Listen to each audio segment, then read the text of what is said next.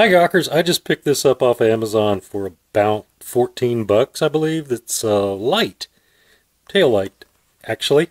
It comes with two mounting brackets. Um, I chose to do the uh, post mount on mine because up here on the seat, uh, it just didn't come down far enough to clear everything and uh, be seen. And there's a, a well, uh, anyway, I chose to put it on the on the uh, post but that's fine. Um, it is a little bit more permanent on the post mount because down below here there's a tiny, tiny, tiny screw that kind of holds it completely into place. As you see, jiggling it, um, got it to start flashing again.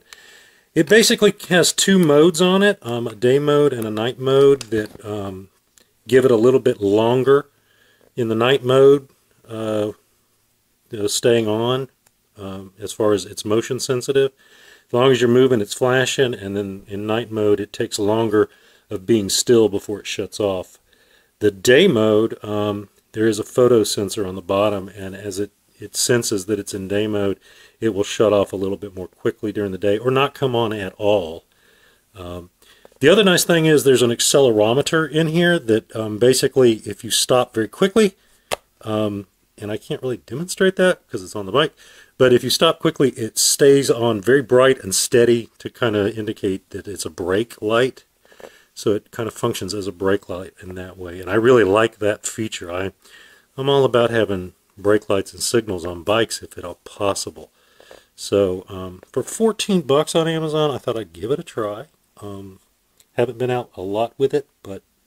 Oh, and there's one other feature. There's two buttons down here on the bottom. Um, hey, get some light here, guys. There we go. If you can see there's a red and a blue button down here. Um, the red button is on the mounting side of your bike where you normally would, well that's the blue button. Um, anyway, the, the, oh, the blue button turns it on and off. It's on this side and you just hold it down for a second and it goes through the modes and that turns it on and off. Red button you hold down for two or three seconds and it will beep at you and that indicates that it's alarmed and you might say, what startled it? No, it is an alarm. It's a motion sensitive alarm. So you park your bike and leave it, you can turn it on, and if somebody tries to move your bike, it will scream at them. So you can also set a pin to uh, disable it. So you have to come up here and hold the buttons in, a, in the correct sequence to turn it off. Uh, the default on it is just to hold the button down again, which is kind of, if the bike thief knows what they're doing, they could disarm it. But you know, at least it screamed at somebody. Maybe it'll scare them off. I mainly got it for the brake light. I'll put a link in the doobly-doo to Amazon. As far as uh, what this guy is, I just saw another guy I'm subscribed to review something very similar. His was about 20 bucks, and it has several different flash modes, and it goes purple and blue and red and all kinds of stuff.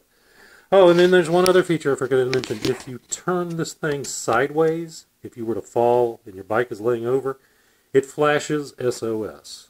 I don't know how many people know Morse code in this day and age, but um, yeah, it does that too.